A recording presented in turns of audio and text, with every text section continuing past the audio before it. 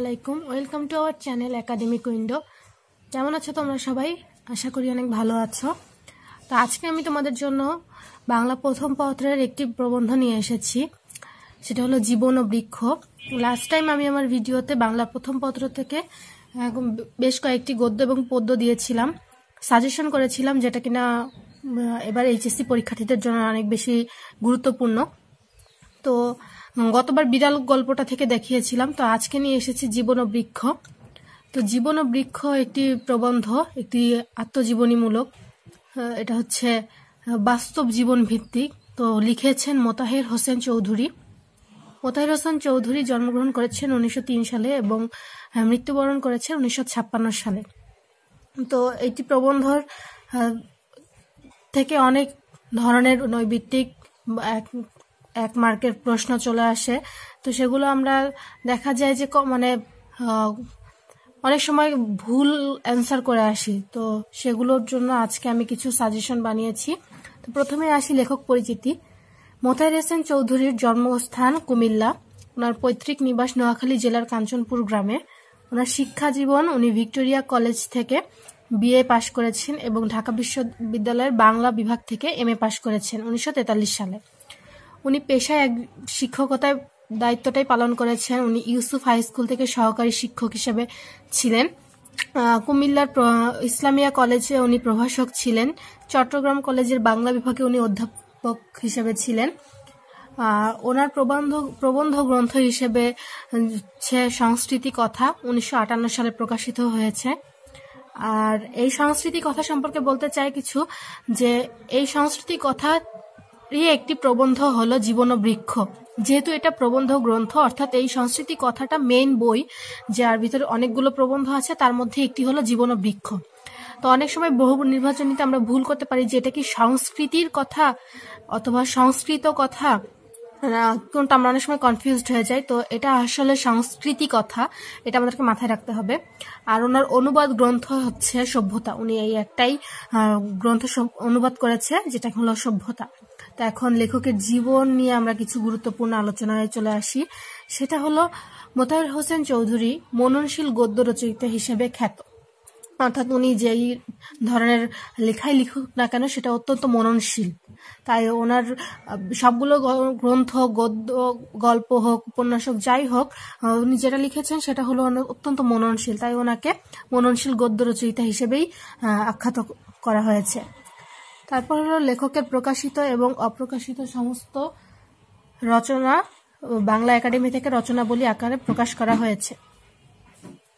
উনি যেই গ্রন্থগুলো প্রকাশ করেছেন অথবা প্রকাশ করতে পারে নাই, সেই যেগুলো অপূর্ণ রয়ে গেছে সেগুলো বাংলা একাডেমি থেকে একটি রচনাবলী নামে একটি বই প্রকাশ করা হয়েছে। তারপর মোতার হোসেন চৌধুরীর লেখনী ছিল বাস্তব জীবন ভিত্তিক অর্থাৎ এই যে বললাম যে উনি যেটাই লিখেছেন না কেন, সেটা অত্যন্ত বাস্তবমূলক। অর্থাৎ বাস্তব জীবনের সাথে মিল রেখে উনি লিখতেন। কোনোটাই কাল্পনিক কিংবা কাল্পনিক জগতের মধ্যেকার উনি লেখা খুব কম লিখেছেন। যাই লিখেছেন, তা থেকে আমরা কিছু শিখতে পেরেছি এরকম কিছু। তারপর ওনার চট্টগ্রাম কলেজে অধ্যাপনাকালে তিনি মৃত্যুবরণ করেন। অর্থাৎ উনি শিক্ষকতা করতে করতেই ওনার জীবনটা পারি করেছেন। তো উনি যে সময় চট্টগ্রাম কলেজে অধ্যাপক ছিলেন উনি ওইখানে অধ্যাপনা করতেন, তখন তার মৃত্যুবরণ হয়, তখন উনি মারা গিয়েছেন। তো বাংলাদেশের প্রবন্ধ সাহিত্যে এক বিশিষ্ট সংযোজন হলো সংস্কৃতি কথা। অর্থাৎ এই যে তার প্রবন্ধ গ্রন্থটি হলো সংস্কৃতি কথা, এটি বাংলাদেশের প্রবন্ধ সাহিত্যে একটি বিশিষ্ট সংযোজন, কারণ সংস্কৃতি কথা এমন একটি গ্রন্থ যেখানে তিনি যেই সব প্রবন্ধগুলো লিখেছেন তা সবই হলো বাস্তব ভিত্তিক অর্থাৎ বাস্তব জীবনের সাথে মিল রেখে। তাই প্রত্যেকটা প্রবন্ধই খুবই সুন্দর, যার কারণে সেটা বাংলাদেশের প্রবন্ধ সাহিত্যে এক বিশেষ ভূমিকা রেখেছে আর কি। এখন আমরা চলে আসি বইয়ের ভিতর, অর্থাৎ জীবন ও বৃক্ষ প্রবন্ধের ভিতরে কিছু পুরো সম্পূর্ণ প্রবন্ধে কিছু গুরুত্বপূর্ণ লাইন আছে। অর্থাৎ প্রবন্ধ যেহেতু অনেক গুরুত্বপূর্ণ তো সেই ক্ষেত্রে যে লাইনগুলো আছে, অনেক সময় আমাদের বুঝতে অসুবিধা হয় যে একটা সামান্য একটা লাইনের ব্যাখ্যা কত বড় হতে পারে, আমরা তো বুঝে উঠতে পারি না। তো সেই লাইনগুলো আমি কিছু গুরুত্বপূর্ণ লাইন তুলেছি, যেগুলো হচ্ছে আমি তোমাদেরকে দেখাচ্ছি। যেমন, একটি হলো সমাজের কাজ কেবল টিকে থাকার সুবিধা নয়, মানুষকে বড় করে তোলা, বিকশিত জীবনের জন্য মানুষের জীবনে আগ্রহ জাগিয়ে দেওয়া। তো এর মানে হলো আমরা যে সমাজে বাস করি, সেখানে অবশ্যই অনেক মানুষ আছে যাদেরকে নিয়ে আমরা একসাথে বাস করি। তো এখানে থাকা মাত্র কেবল নিজেকে নিয়ে ভাবা অর্থ বা নিজে যে থাকি শুধুমাত্র নিজের জন্যই সবকিছু করে তা না। সমাজে থাকতে হলে শুধুমাত্র সমাজের সুবিধাগুলো ভোগ করব, কোনো মানুষকে সুবিধা দিব না, তা না। আমাদের উচিত যে আমাদের প্রত্যেকটা মানুষকে নিয়ে সুন্দরভাবে সমাজে বসবাস করা। তাদেরকে বড় করে তোলা, অর্থাৎ এর মানে এই না যে আমরা তাদেরকে লালন পালন করব, তার মানে এই যে আমরা কখনো তাদেরকে তুচ্ছ করে দেখব না। আমরা কখনো তাদেরকে ছোট করব না অথবা অবহেলা করব না। কেউ যদি সমাজের ভুল পথে চলে যায়, আমরা তাদেরকে সঠিক পথে নিয়ে এসে সুন্দর সমাজের জন্য আহ্বান করব যে আমরা এই কোন পথটা তাদের জন্য ঠিক, সেই জ্ঞানটা তাদেরকে দেওয়ার চেষ্টা করব। এটাই হলো সমাজের টিকে থাকার সুবিধা। এটাই হলো সমাজে একসাথে সকলকে মিলে থাকার দায়িত্ব। তারপর এদের একমাত্র দেবতা অহংকার। এদের একমাত্র দেবতা অহংকার বলতে বোঝানো হয়েছে মানুষের একমাত্র দেবতা অহংকার। অর্থাৎ যারা সমাজে অনেক মানুষ আছে যারা অহংকারী অথবা অন্যকে দেখে অহংকার করে। তো যারা মনে করে যে আমার চেয়ে বড় কেন হবে? আমার চেয়ে বেশি নামি কেন, নাম কেন অর্জন করবে? আমার চেয়ে বেশি সুনাম কেন তার হবে? সে কেন আমার চেয়ে বেশি প্রশংসিত হবে? সে কেন এই কাজটা করবে? এই যে তাদের মনে অহংকার। মানুষ কেন মানুষের ভালো কাজে খুশি না হয়ে অহংকারটা করে যে, আমার চেয়ে ভালো কাজ করে ফেলছে? এই জন্যই অন্য মানুষ তাদেরকে বলে থাকে যে, মানুষটা অহংকারী। অর্থাৎ অহংকার করাই মানে সে আর কিছু চোখেই দেখে না। তার অহংকারটাই সে বেশি প্রাধান্য দেয়। সেজন্য বলা হয়েছে যে, এদের একমাত্র দেবতা অহংকার। তো আমাদের উচিত যে এই অহংকারটা বন্ধ করে, এই অহংকার না করে মানুষের আনন্দে আনন্দিত হওয়া, তার দুঃখে দুঃখ প্রকাশ করা।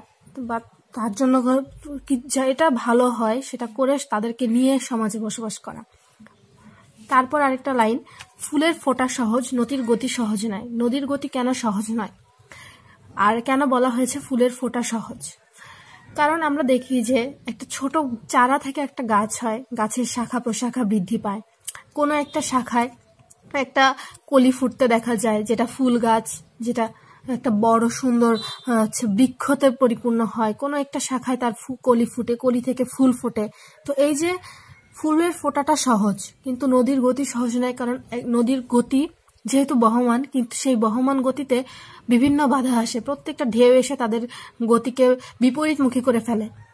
সেই জন্য নদীর গতি কখনোই সহজ না। নদী অবহিত ভাবে বয়ে চলছে। কিন্তু সেখানে প্রত্যেকটা মুহূর্তে ঢেউ এসে তাদেরকে বাধা দিয়ে তাদের গতি বিপরীত করে ফেলছে। এই জন্যই নদীর গতি সহজ নয়। কিন্তু একটা বৃক্ষের বড় হয়ে তাকে ফুল ফোটা ফুল ফোটা, এগুলো হচ্ছে অনেক এটা সহজ। ফল দেওয়া, এটা সহজ, কিন্তু নদীর গতি সহজ নয়।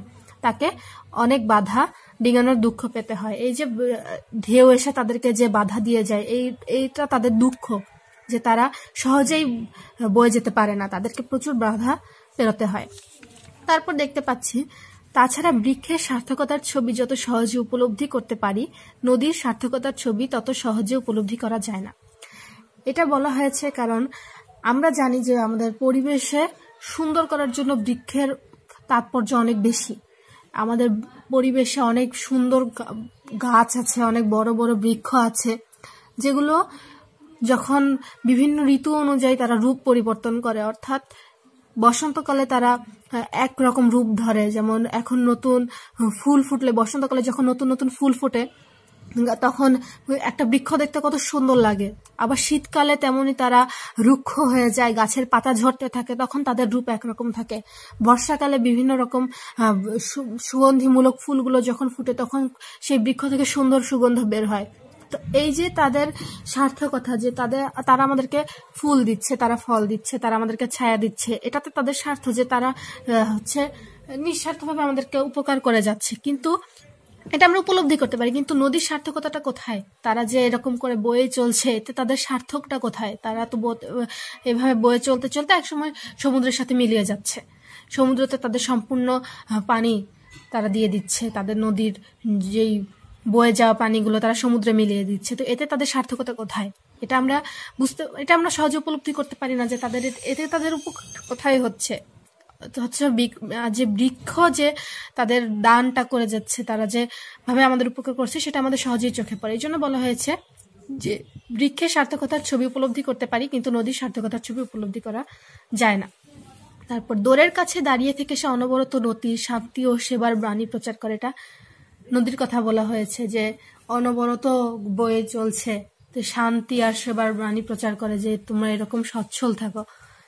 তারপর মানুষের বৃদ্ধি কেবল দৈহিক নয়, আত্মিক।